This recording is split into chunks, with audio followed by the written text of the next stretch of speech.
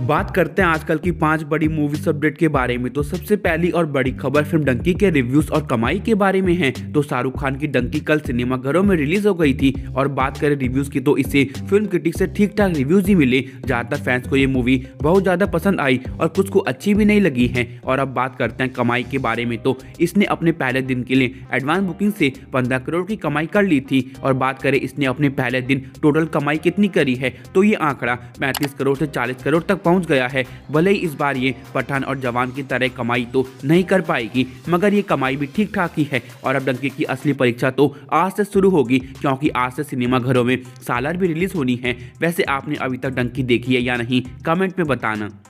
बात करें सालार के बारे में तो इसने अपनी एडवांस बुकिंग से एक नया रिकॉर्ड बना दिया है और इस साल के पहले दिन सबसे ज़्यादा एडवांस बुकिंग से कमाई करने वाली मूवी भी बन गई है और सालार ने अपनी एडवांस बुकिंग से पहले दिन के लिए करीब 40 से 45 करोड़ की कमाई करी, जो इस साल में किसी भी फ़िल्म में सबसे ज़्यादा है। साथ ही अगर इसकी पहले दिन की टोटल कमाई की बात करी जाए तो ये इंडियन बॉक्स ऑफ़िस से लगभग सौ करोड़ से ज़्यादा का कलेक्शन आराम से कर लेगी। और अगर वर्ल्ड कमाई की बात करी जाए तो ये आंकड़ा लगभग 150 से 180 करोड़ तक आराम से भी पहुँच सकता है। और इसी के साथ सालार प्रभास के करियर की इस साल की पहले दिन सबसे ज़्यादा कमाई करने वाली फ़िल्म भी बन जाएगी। वैसे आपने अभी तक सालर देखी है या नहीं, कमेंट में बताना।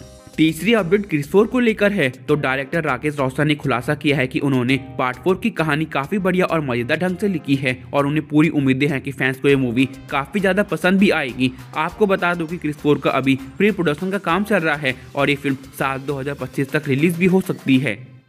चौथी अपडेट अल्लू अर्जुन को लेकर है। हाल ही में अल्लू अर्जुन ने एक बार फिर से एक बड़ी पान मसाला कंपनी का ऐड करने से साफ़ मना कर दिया है। आपको बता दूँ कि ये कंपनी अल्लू अर्जुन के पास करोड़ों रुपए का ऑफ़र लेकर गई थी, मगर उन्होंने ये कहते हुए इस ऑफ़र को मना कर दिया कि वो अपने फैंस को कोई भी गलत चीज़ नहीं बेचेंगे।